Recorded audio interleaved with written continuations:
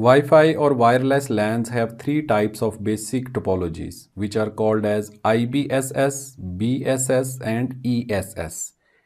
Independent Basic Service Set, Basic Service Set and Extended Service Set. So what are these? Independent Basic Service Set is when we connect 2, 3, 4 computers directly without any central device.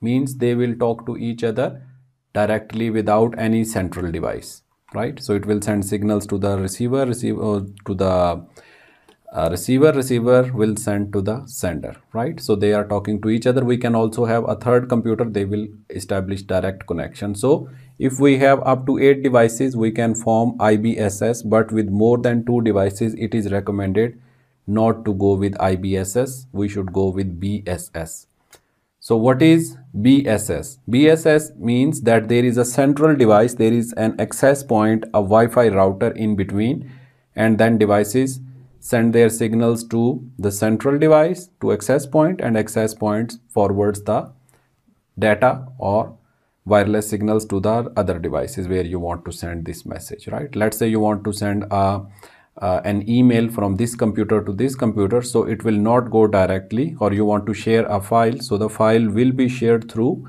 access point. This is called bss both bss and ess they fall under infrastructure mode. So these two are infrastructure mode and this one is called as ad hoc mode.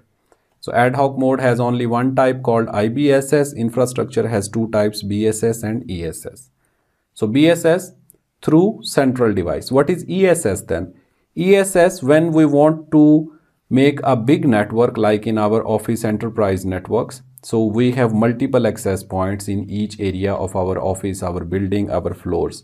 Then we connect them through a central switch or a central device or LAN controller or any other device which is called as distribution system DS.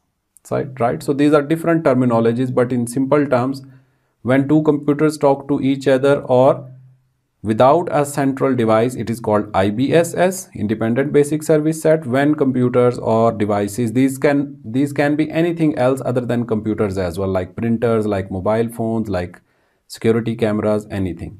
So when the devices talk through a central device, they are called as BSS. Without central device, they are called IBSS and collection of different BSS is called as ESS, Extended Service Set. So I hope it's clear.